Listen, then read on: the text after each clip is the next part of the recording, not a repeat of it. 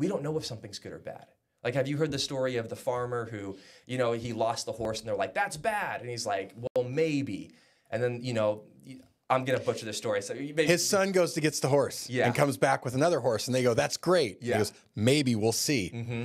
he falls off, breaks his leg. That's bad. And he's like, maybe we'll see. Then the draft happened. His son couldn't go to war because his leg was broken. So it's this whole thing where it's like, unfortunate things happen to us, and we as humans decide to assign value. Is this good or bad? We actually don't know.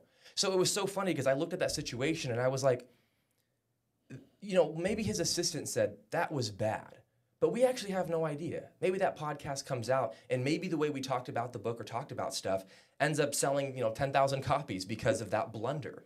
But we have no idea. Maybe someone else heard the podcast and they heard the way I talked and was like, the way he talked about it right now makes me want to invite him on the podcast here. So it's it's it's quite interesting because it's not being powerless and saying, well, whatever happens happens. I'm going to trust God.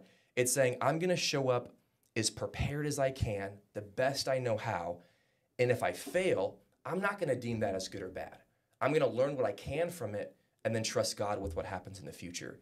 And that in itself takes a ton of pressure off us and a ton of the anxiety off because it's like we actually don't know what's good or bad that happens. You know, we actually don't know if this thing that felt uncomfortable, this thing that felt, you know, like a bummer or we missed this mark, it's like we don't know if this is something that's going to ruin our future or take us away from our success. It could be the thing that launches us into success.